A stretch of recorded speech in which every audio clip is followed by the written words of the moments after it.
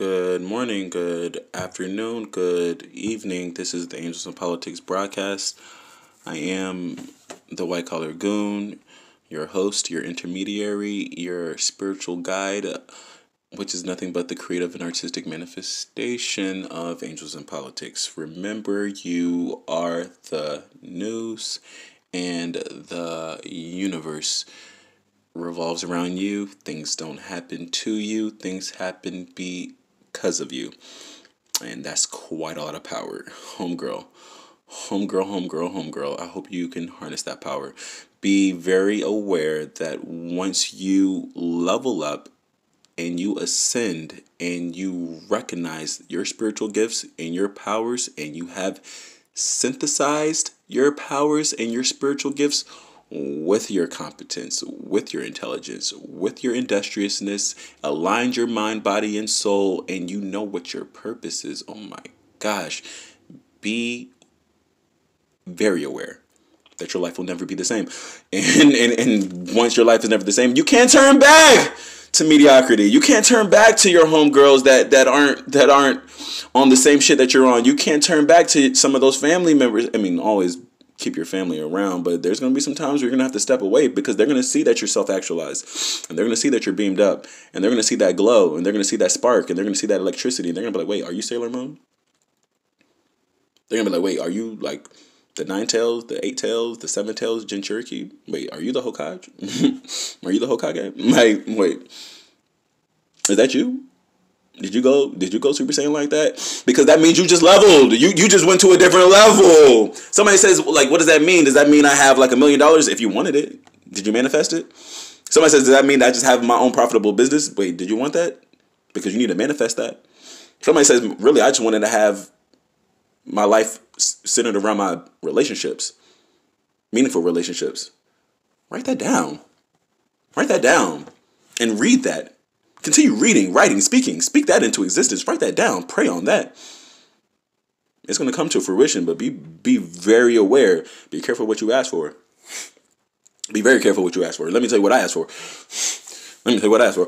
Um, I asked the. Oh my gosh, I asked for a lot of things, but I asked I asked the Lord. I said, "Wow, I understand that I have this type of personality. I understand that I um, have the campaigner personality. I have the the, the championer, the, uh, the the the maverick type of personality, the one that goes against the grain, the one the one who is so self reliant and somebody who values his freedom over uh, money. I value my freedom over you know a lot of things. I value my own journey more so than the traditional conventional individual who likes to stick with what he or she knows. And i want to stay by my close friends and close family and i want to stay with my neighborhood that i know where everything's are. I want to stay in my environment where i know where everything's are and i want to stay in that job where i know what's going to happen every single day.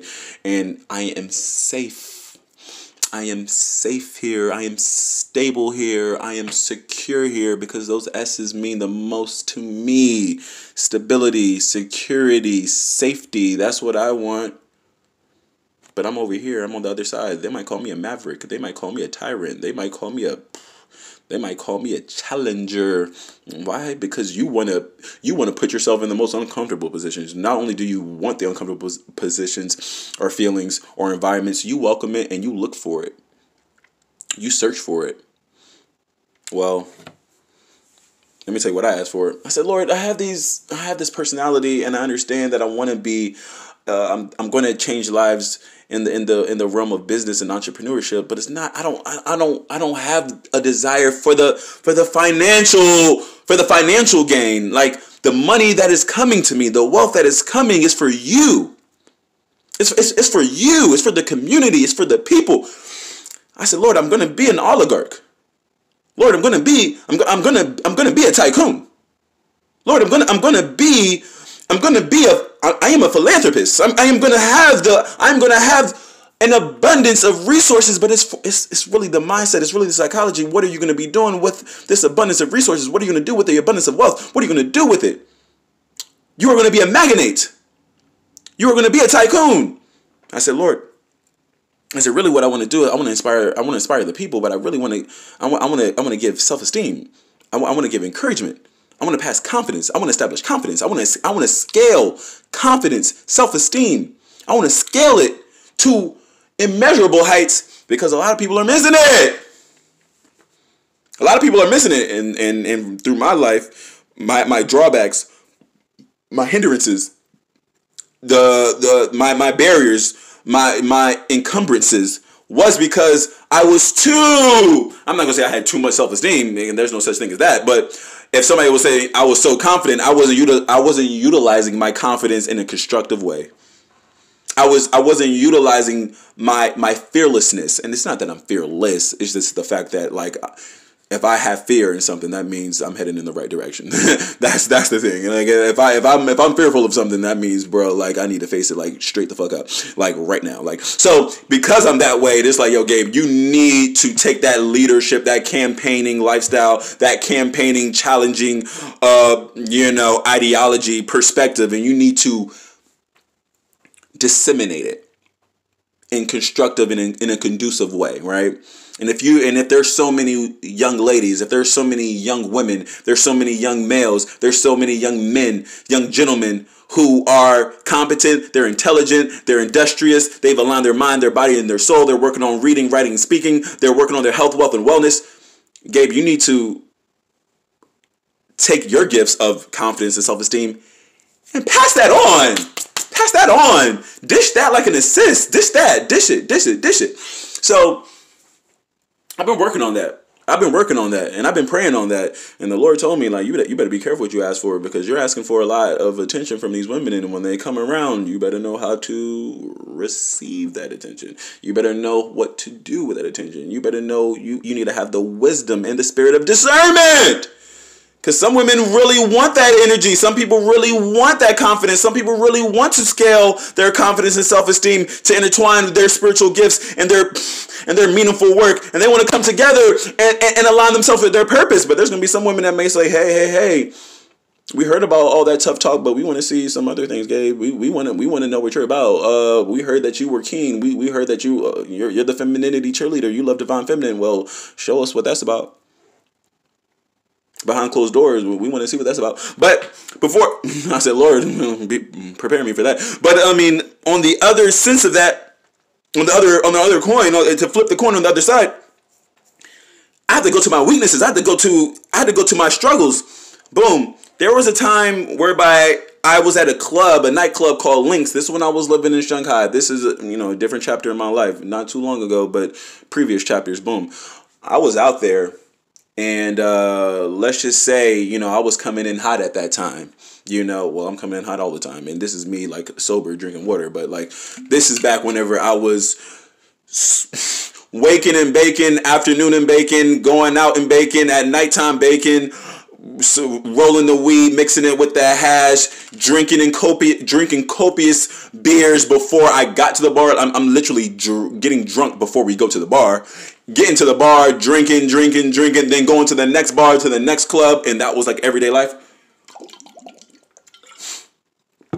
Who drinks before they go to the bar? Hmm, evidently me. All right, so and my crew. Okay, and that's why we were turned up. All right, so we were going to this spot called Lynx and, by this time we were we're we're on it. We're we're blasted. You know what I'm saying? I'm out of control. Like I mean, I don't even know how how I how I, how I pulled up on homegirl, but it was really like what we call um, autopilot. You know, like you're driving a Tesla and it can just drive itself. Like when you're flying an airplane and it just flies itself. Well, motherfucker, I was my my my mind was gone, but I was on autopilot, and um, I remember approaching a, a young woman, and she was very beautiful, very attractive and um, I got her number. And I don't even remember the next morning I saw her on my WeChat and I was like, "Whoa, she's she's stunning." And uh, long story short, a few days later, we had a dinner um, at a local bar called Windows. Windows is popping. I don't know if Windows still is a big thing in Shanghai. It probably is. They had a lot of locations. Um, we had some food and probably on our second date we went back to Lynx where we met initially. Homegirl had she was stunning. She was stunning, very beautiful. She had a she had an aesthetic that I found to be my type. Um, she was from she wasn't from Shanghai, but she was Chinese, and she had a body that was quite uh quite statuesque. She was built, and um, I just remember seeing her that second time, and I was like, "Whoa!" Well, at at at, at she had on uh, like a cat suit. I don't know if it was like Halloween time. Maybe it was Halloween, but it, it was something like this. But homegirl had a full on one piece leather cat suit with the fishnet stockings, with the zipper that stopped here, and her her bosom was just presented to the to the universe like this. And i'm talking homegirl was on it. Homegirl had the cat the cat ear. She was legitimate top notch top model chinese catwoman killing the game in the city. I'm talking i was turning heads in that motherfucker with homegirl. And it was we were dancing. I'm talking and and, and, and we're, we're turned at least I was. And I'm we're we're drinking the whiskey and I'm already on one and I'm we're dancing and we're turning up and we're showing face, or at least I'm showing my face. And things are good. Things are good. And I told you I met her first time, got her number, mm, don't remember because I was blacked out. Second time we went on a dinner date. It was cool. This is our third time meeting, so you already know how I was feeling. You already know how I was feeling. I'm already turned two, and we're already dancing. Homegirl has the leather and lace Catwoman outfit. It was all aligned. It was all aligned for somebody like me. For anybody, third date, it's aligned. It's aligned. Do you know by the end of the night? Do you know by the end of the night, I saw homegirl like talking to one of her friends, or uh, the, one maybe some of the guys that she knew at the bar because she frequented that bar. So uh, she knew the staff and she knew the people who worked there and she knew the people uh, who probably owned the bar. Not probably, she did. So um, I remember talking to her and saying, "Man, let's get out of here." You know, your your apartment is across the street, like literally, like across the streets. No, let's get out of here. And she looked up at me, and we were having a good time. We were dancing the whole time. I'm I'm this close to her face and stuff, and you know, I was with her the whole time. And she looked at me and was like, "Do you think you're gonna have sex tonight? Or, or did you do you think you're gonna you're gonna go home with me? Tonight? Did you think you were gonna go home with me tonight?" And I looked at her and I said, Yes. I said, Yes. I mean, that's exactly what I thought. I, I did think. She was like, Wait, you thought you were going to have sex tonight? Yes. I did think that. Do you know, Homegirl stamped her fucking foot like this, shook her fist at me, was like, and she was shaking her head. She was furious. She was furious, not in the sense of like throwing things at me, but you could tell like ding ding ding ding ding, Gabe, that is not the right answer. Eh, eh, eh, eh, eh. Wrong answer, bro. Wrong fucking answer. She looked at me like you cannot be serious. She looked at me, was like, no, shaking her head, shaking her fist, stumping her feet like, no, bro. No, Gabe. No, that is not what I wanted to hear. That is not what any woman wants to hear. No woman, I don't care if they say the truth sets you free. I don't give a fuck if they say radical transparency sets you free. I don't care if they say you're rewarded for your honesty. I was not. I have not been rewarded for my honesty with women for years, bro. Years at that time. At that time, my honesty was shooting me in the fucking foot, the, not the foot. I was just shooting myself all the way down. She looked at me like, no, that cannot be your answer. No woman wants to hear from a guy that they expect to have sex with them. Their expectation was for you to have sex with them.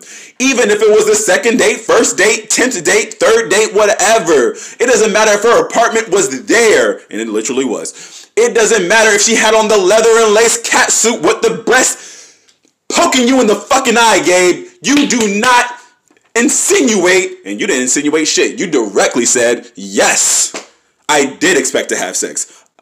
I I, I looked at her with the same disbelief like what else would we be doing tonight what else why else did you think I'm here at 2.30 in the morning, drunk as fuck at the club? Why, why else do you think I came out here on a taxi? Do you know homegirl took me by the hand, walked me to the front, walked me outside, took me by the hand after she shook her hand and brought me to the front of the club, brought me outdoor, brought me to the brought me to the front of the front of the fucking club where the bouncer was and dropped me off. Like as if it was her house, like as if the club was her house, but like, bro, you gotta go. You gotta go. you, you gotta go. Like like she called it like the taxi was out there for like yo take this guy, get the guy on the taxi, and she stood there was like, and of course that was the last time I saw her. But like so guys, I tell you my truth. I tell you my struggles. Now, of course, this was maybe five years ago, uh, four years ago. But the truth of the matter is, I maybe five years ago. The truth of the matter is, like, you have to work on your your your psychology in regards to women. There is nothing wrong with with with having a a fiery burning desire for women, but if your expectations or if you have uh, a, a, pejorative or a negative mindset, ideology, psychology, uh, emotional uh, understanding of women, then you will lose every time. It doesn't matter what you look like. It don't matter how cool you think you are. It doesn't matter how many what gold or earrings or or money that you think you have. You're you're gonna lose. You're gonna lose because girls don't like that. Girls don't like it at all. And I'm I'm I'm glad that I'm here now to be a femininity cheerleader. I'm glad I am working now to improve and and to improve confidence for guys, but mostly for for guys so they can interface with women in a better way than I did. I don't want you to make the same mistakes that I did.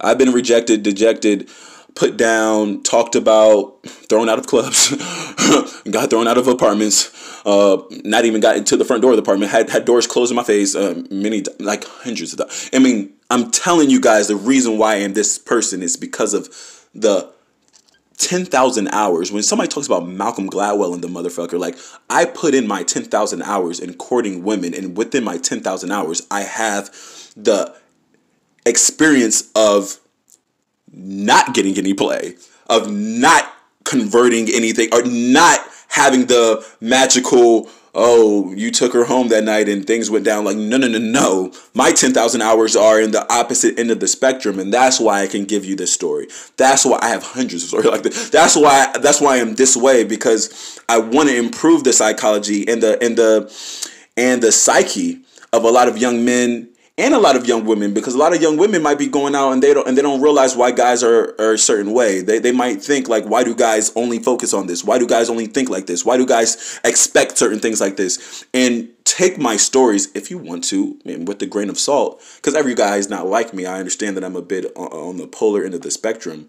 But there are characteristics, there are elements of my story and my personality that you will find in a lot of men and um, it's it takes me to be almost 30 years old to start to like almost like get my nose above water to understand like how much work I have I have in the future for me to be you know okay and conducive to the feminine environment